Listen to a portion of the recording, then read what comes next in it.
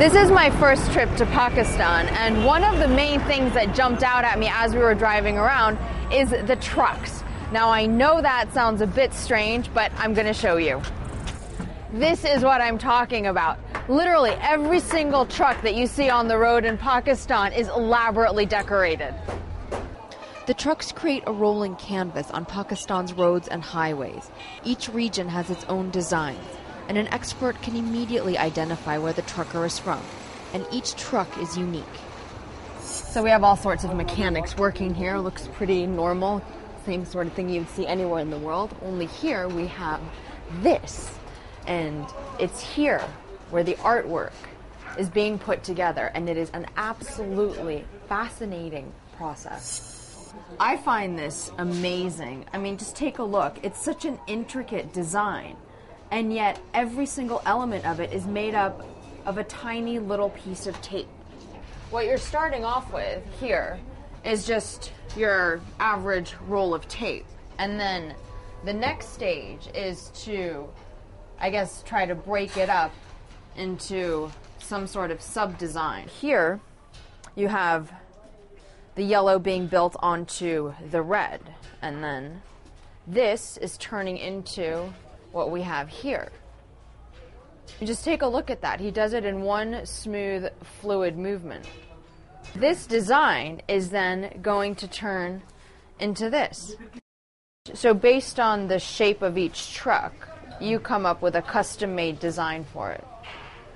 They're insisting it's easy, but I have to be honest, it looks like it's anything but. Just take a look here at the accuracy with which he's placing the tape and then just how fast he's able to cut it and move right on to the next little part.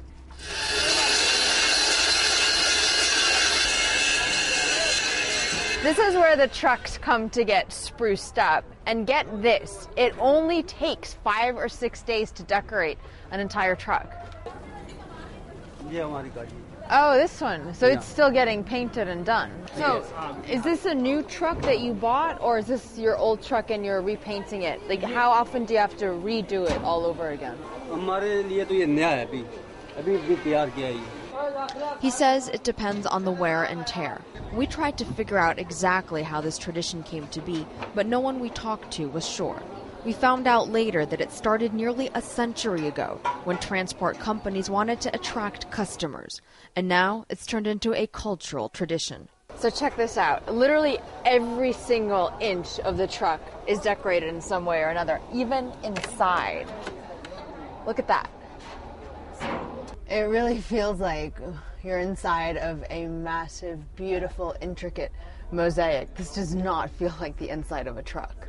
I'm really enjoying myself in this truck. Don't want to get out. But, anyways, so before I do, here's another little thing to tell you about. It costs around 55,000 rupees to decorate this. That's $660 for all of this work.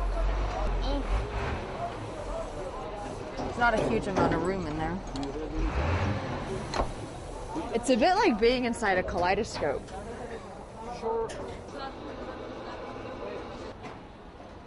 There's also poetry written on the trucks, and at times it's even romantic poetry. So, here, for example, we're told is written when two hearts come together, joy is born. But it makes some people jealous while others happy.